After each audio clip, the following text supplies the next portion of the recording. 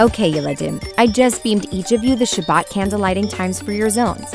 Boys and girls, now please bring up your virtual Aleph Champ holographic files and we'll begin Hebrew 2.0. Mora, do we actually have to open the files? Can you just transfer and sync the lesson directly into us?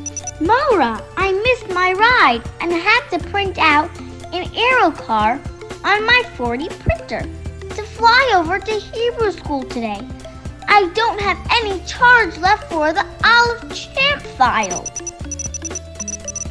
Yeah, my after school simulated ball tournament and my AI piano robotics performance is totally consuming my active memory juice. Can we just skip Hebrew 2.0 today? Yeladim, I know how busy and distracting life is for all of you. But no matter what is going on, I want you to always remember what's really important. You know what? Before we begin class, let me tell you a story. This true story takes us back half a century ago. I know this story, boys and girls, because I was there.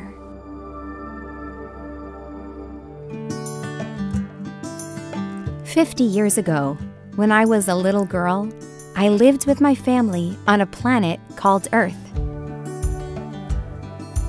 I had just come home from a big Purim party and was counting down the days until our big family trip to Disney World for spring break.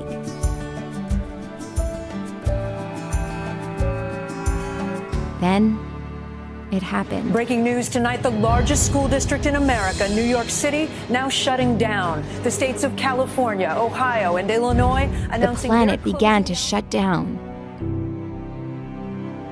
A teeny tiny invisible little bug started traveling all across the planet, making people very sick. So they started closing down the whole planet, and everyone locked themselves in their homes. Can you imagine that? No one played sports. No one went to school. All the roads, the parks, and the streets were empty. All my soccer competitions, my gymnastics team, and my music recitals were canceled. And we never got to go to Disney World that spring break trip. My parents were so scared the bug would get on my grandma and didn't let me kiss, touch, or even come close to her. That little microscopic bug managed to stop every part of our life on planet Earth.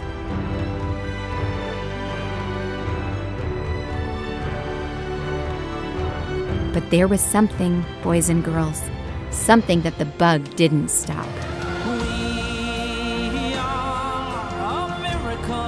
It didn't stop us from being proud Jews by learning Torah and performing mitzvahs. We still ate matzah and had our Seder on Passover that year.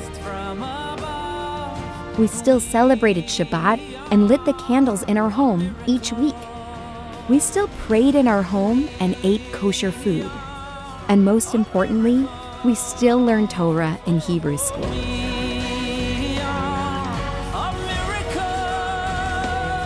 You see, boys and girls, Judaism isn't just something fun we celebrate and do. It's who we are. And even that terrible bug couldn't stop us from being who we are. A nation in the desert, we started out as slaves. More than 3,000 years ago, we received the Torah from Hashem at Mount Sinai. And from that day on, we've held the Torah and its mitzvahs so close to our hearts. We are pushed to the ground. Never ever, not even once, in all these 3,000 years, have we stopped learning Torah. Wanted us to bow. But our backs ain't There have been many difficult times in our history, and we have had to give up lots of things. But no matter what happened around us, we kept on being proud Jews by learning the Torah and doing its mitzvahs. through our faith, we are found standing strong.